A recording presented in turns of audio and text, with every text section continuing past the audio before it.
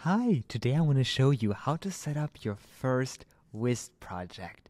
And it's really super simple. So, first of all, you want to configure your general design in Webflow and you need to add attributes as you would do in Finsweet attributes or in Formly or um, in all of those other tools. You need to add data attributes in the custom attribute section, basically for every element you want Wized to interact with. Now, Wized is a JavaScript library which customizes and adapts as you do changes on their dashboard, right? It, it, they give you the dashboard and the way you configure things on the dashboard reconfigures your JavaScript file. So, in order for Wized to work properly, you need to give things attributes so the JavaScript file can do its JavaScript magic. So, I have some elements in here, and basically, I want to click on here and have this number count up. So, I need to add a Wized attribute on here of Wized counter button 1 and on the number that I want to count up of Wized counter button num- uh, counter number 1. So Wized can count this up to 1 and this can be registered on click to do the action right in here. So I will click on here. So I need to add a Wized attribute with any generic name, ideally camel case. If if you want, you can also do like minuses. But if I click on this element, this will need a Wized attribute. If and if I want this to change based on a dynamic state, I need to add a variable, uh, an attribute, excuse me, an attribute in here as well. And now I want to make sure to publish that. And now I'm going to create a new project. So in Wized, in the dashboard, you have this section called New Project. And what you have to do is you're just going to go to your Webflow site settings and you're going to go to the custom code section. Now, you would need to have an agency plan or a freelance plan to add the custom code part, or you would need to be able to um, to upgrade to a plan in order to do this. Um, but if you don't want to, you could also use a service like Cloudflare to have that custom code, that embed edit or Netlify if you want to self-host. That will work as well. But we're going to do the easy part here. So I just went to Wized and in here I added my Webflow staging domain. It needs to be the staging domain because Wized will only work with the staging domain. Now I'm going to get the embed and I want to copy this embed and I will add that to my site. Now you may ask yourself, what is the Wized embed? Now I will get two files in Wized. The first file, as you can see, is just not found right now because there is nothing configured on it yet. And the second file is the index.js that Wized gives me.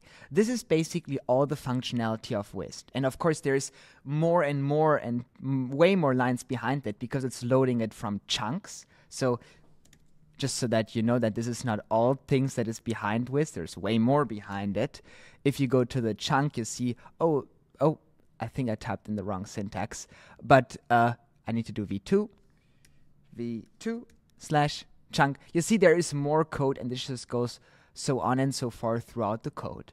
So this is just so that Wized optimized this. In V1, it was all in one JavaScript file. Now they have like this hybrid approach of using the chunks because your browser likes to uh, download five things at the same time. And downloading five things at the same time or 10 things is way faster than loading one big thing.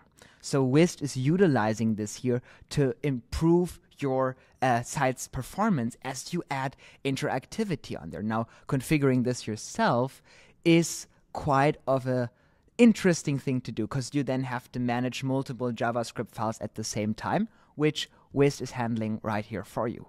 So it will automatically get the name, and I just have this to my first workspace. Now I click on Create Project, and now I am off to the races to basically set up the basic functionality. So let's actually just do only one of those counters. I can simply go on the button here, and now you will see I created an action to interact with that button. I can do on event, I can do a click, for example, and now I'm listening to clicks. In Wized, this is a high level, I can do count one as a variable. A variable is a way how we can store data. Now I always have to write return, and I can just add a, a, a starting value. Now, if I load this page, you see the starting value is zero. Now, if I go back to this element, I can go to a set variable, I can select my variable, and I can return and do a custom function in here. I will take the current value plus 1 all the time. And as you can see, it is counting up from 0 to 1. Now, if I'm going to go in here and I'm going to refresh the page to make sure everything was successfully populated, as I click on here, you see that the number is counting up. Now, I need to go to that element and map it to the variable. I'm going to go to set text. I'm going to write return, just like that, and I'm going to base it on my variable.